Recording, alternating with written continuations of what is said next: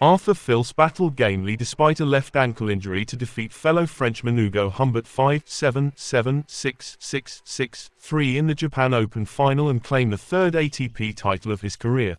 The 20-year-old grew in confidence through the three-hour contest after losing the first set and saved a match point before clinching his first victory over Humbert after defeats in their previous four meetings, including twice this year. Fils broke early to go 3-2 up in the first set but struggled on serve, handing Humbert a break in the next game with back-to-back double faults. But Fils then put pressure on world number 19 Humbert, who had to save four break points to hold twice. It was Humbert who found the break though as he took the first set, with Fils struggling due to his injury. The world number 24 received some treatment in the second set as Humbert looked to break and take a 5-4 lead, going 40-0 up.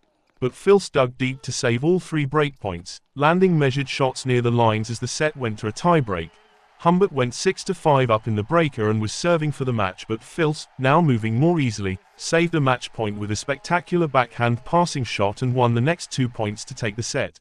Fils pushed hard in the third set and Humbert saved two break points before his fellow countryman finally prevailed, taking a 5-3 lead before sealing the title with an ace.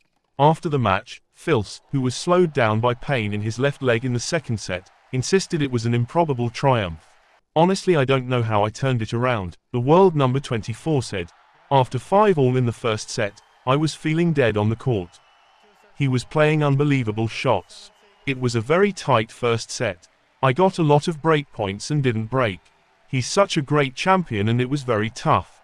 In July, Fils won his first tournament of the year, defeating Alexander Zverev 6-3, 3-6, 7-6, 7-1, in the Hamburg Open final.